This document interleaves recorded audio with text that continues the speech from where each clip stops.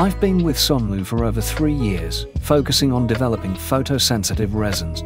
I joined Sunlu because of its leading position in the 3D printing industry and its strong commitment to innovation. The supportive team environment here has enabled me to continuously learn and grow, both personally and professionally. I chose to stay at Sunlu because I learned that R&D must be user-centered. Success isn't just about mastering technology, it's about creating products that truly meet customer needs. For example, when working with photosensitive resins, it's essential to consider print quality, convenience, and cost effectiveness. Additionally, our increasing emphasis on environmental sustainability has become a key part of our design philosophy.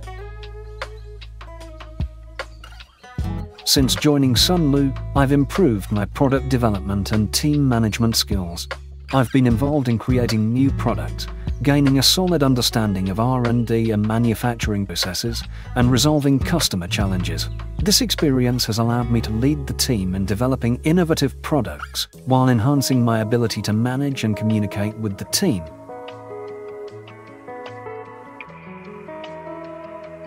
My most fulfilling experience at Sunlu has been developing breakthrough products as part of the R&D team. For example, when we were working on nylon-like resin, we faced challenges due to its toughness. Overcoming these obstacles and creating a product with excellent strength and toughness was incredibly rewarding, especially seeing the positive market response. We will launch a series of high-precision 14K resins, including 14K water wash resin and 14K ABS-like resin.